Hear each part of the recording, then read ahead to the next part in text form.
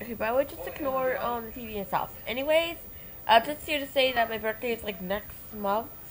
So, yeah, my birthday's like next month, and uh, it's on a Thursday.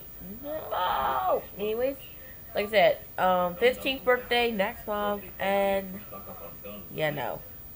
You can make me a gift if you want for next B day or so. I don't know.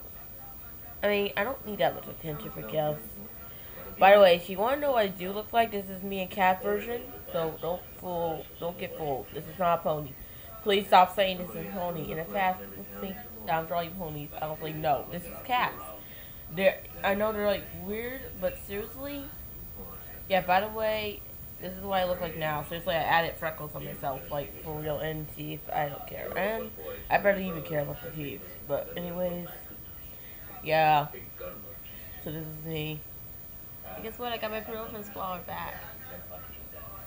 So, by the way, if you want to know what I look like, you can check this channel here. This is what I now look like.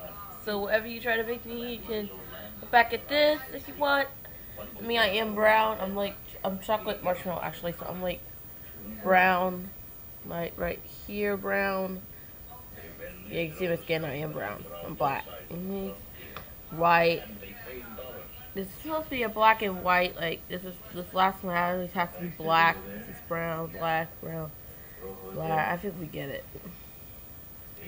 Of course, the first flower is red and with green petals.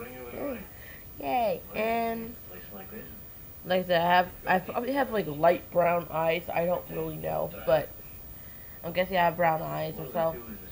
So your brown or light brown will work. But for my best brown, just to not get mixed in with the own skin tone. So yeah. Bye. I have to go to school now. So uh.